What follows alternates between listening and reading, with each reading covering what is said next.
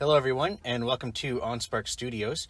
Today I'm going to show you one of the effects you can add to objects in Blender called emission and what it does is it basically just makes objects glow. So let's get started. First I'm going to hide the light so you can actually see it glow. And all I've added is the uh, a plane at the bottom just so you can see um, where, where the light emits from. So if you've been trying to make objects glow and you've come into your nodes or in your material properties over here, if you scroll down, it's also at the bottom, emission. So if you set that to, let's say, a blue color, first of all, you can see it's not really adding anything. If you change the strength, nothing really changes. Uh, you can go into render mode. Now you can see our object is blue, but it's not actually glowing. The reason for this is because over here in your render properties, you need to turn on bloom. There we go. Now if we turn up the strength, now you can see it actually glows with bloom off, on, there we go.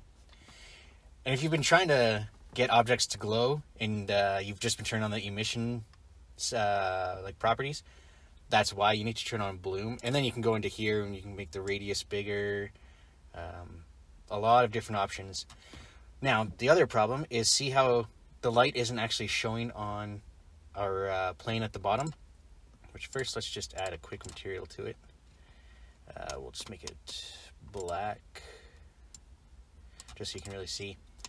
So you can see that it's not really putting light onto our plane.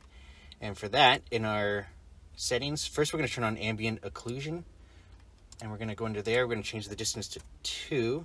And what that does is it makes the corners sharper, which you won't be able to see right now, but um, when you render it, it'll make it'll make a lot of uh, difference because the shadows will be sharp on the corner of the object, not kind of blurry or off-centered or offset. I mean, um, but to get the light to show up on the plane, you need to go to Screen Space Reflections. There we go, and then we'll also turn on Refraction.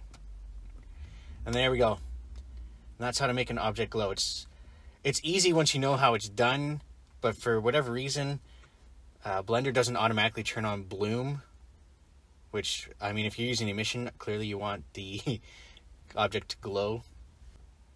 And that's pretty much it for emission to make an object glow. I will be showing you how to actually uh, incorporate this into real objects, not just a cube in a plane.